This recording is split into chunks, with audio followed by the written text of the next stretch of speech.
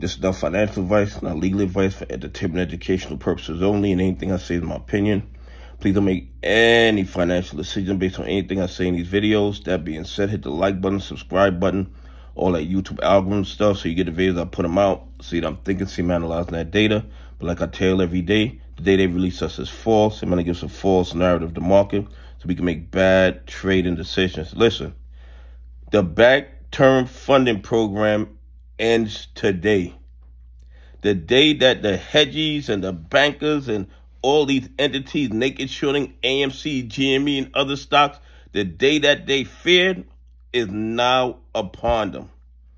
Okay? They have like 53 billion that they have to pay back in in March and another like 79 billion they got to pay back in April. And I know I know the shields are going to say, "Oh, well, they'll just borrow the money from somewhere else."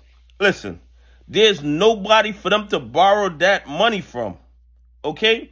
And not only that, you have to remember the collateral that they were using for these loans was severely overvalued.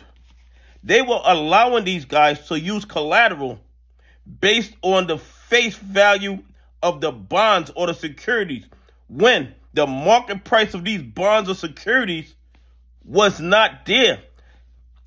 If the if it was a thousand dollar bond, the face value was a thousand dollar bond, the bond might have been worth a hundred dollars. But the bank term funding program was allowing them to, to, to use it as a thousand dollar collateral. Nobody else is going to allow them to do that. Okay? Any collateral that they use now to get loans is going to be at the market value, not the stated value. So, as far as I'm concerned, and I'm not telling you to buy, hold, or sell any stock, I'm telling you that the bad actors are desperate right now. Desperate. And you know what else? Watch the reverse repos over the next week or two. They are going to go down even further. It's under 500 million right now, and now that the bank term funding program is done, they're going to be going to the reverse repos to get that money for liquidity, and soon that is going to be gone. The bottom line is this. They have been dreading this day, okay?